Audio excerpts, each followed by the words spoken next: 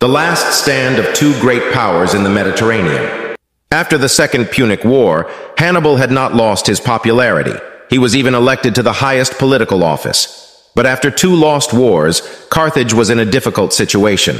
Thanks to his reforms in the economy, Carthage could pay the war reparations earlier than the Romans expected.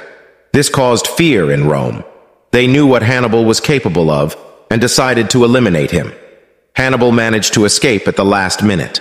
Carthage's bad situation was taken advantage of by Numidia, a Roman ally that attacked Carthage's border. This provoked Carthage, and they attacked Numidia. Rome came to Numidia's aid. The Third Punic War began. The Carthaginians knew they would not win this war, so they soon requested a truce. The Romans demanded that the people of the city of Carthage must leave.